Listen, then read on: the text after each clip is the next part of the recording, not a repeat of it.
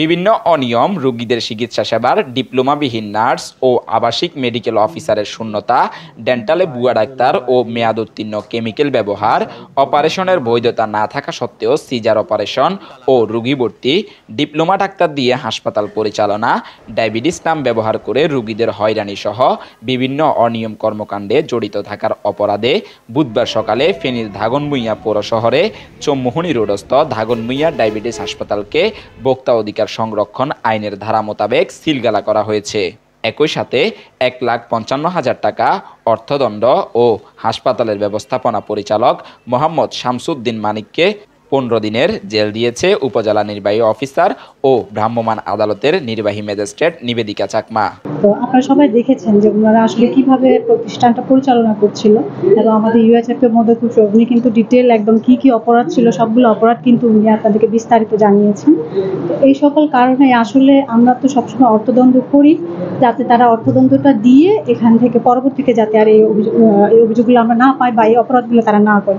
কিন্তু এখানে আসলে অপরাধের পরিমাণটা আমার কাছে মনে হয়েছে এত বিস্তৃত, এখানে আমাদের আমাদের যে পাবলিক তাদের যে জীবনের যে হুমকি, এটার কথা বিবেচনা করেই কিন্তু এখানে জেলও দেওয়া হয়েছে এবং ওনারা সিলগালাও করবেন।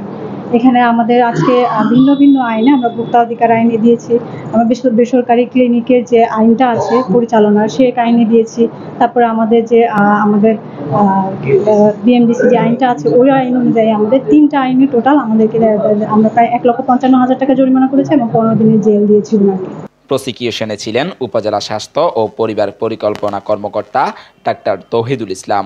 যায় যে মানে গ্লাভস পরা ছাড়া কোনো একজন লোক রুগী দেখছিলেন এবং উনি কোনো আদৌ ডেন্টিস্ট বলে মন ডেন্টাল সার্জন বলে মনে হয় নাই।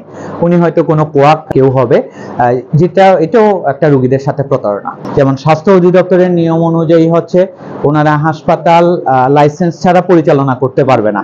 যার কারণে হচ্ছে সিলগালা করা হয়েছে। এবং যেহেতু ভোক্তা অধিকারও জড়িত, এখানে বিএমডিসিও জড়িত, এই বিভিন্ন বিষয়গুলা এবং যেহেতু এটা এমন একটা ব্যবসা যেটা আমি মনে করি মানুষকে নিয়ে, এটা আলু পটলের মতো ব্যবসা না।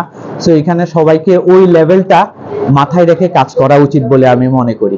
এ সময় উপস্থিত ছিলেন উপজেলা স্বাস্থ্য কমপ্লেক্সের আবাসিক মেডিকেল অফিসার আরিফুল ইসলাম আইন শৃঙ্খলা রক্ষাকারী বাহিনী ও বিভিন্ন কর্মকর্তাবৃন্দ। জনস্বার্থে বেসরকারি প্রাইভেট হাসপাতালের বিভিন্ন অনিয়মের বিষয়ে এ অভিযান অব্যাহত থাকবে বলে জানান ইউএনও নিবেদিকা চাকমা। নাজমুল হাসান শুভর তথ্যচিত্রে desk report Prottoy news.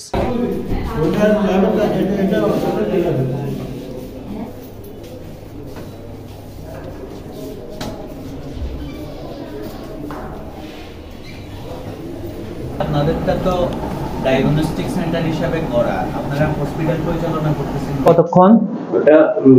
Degree centigrade কাজ করে এটা না এটা কাজ সাথে সাথে আপনাকে ফ্রিজে ঢুকিয়ে ফেলতে হবে। এটার কোয়ালিটি বাদ হয়ে গেছে।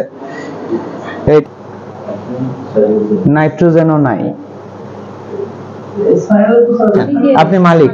জি স্যার। আচ্ছা ঠিক আছে। আপনার তো হাসপাতালের কোনো কাগজ নাই। আপনি হাসপাতাল পরিচালনা করতেছেন কীভাবে?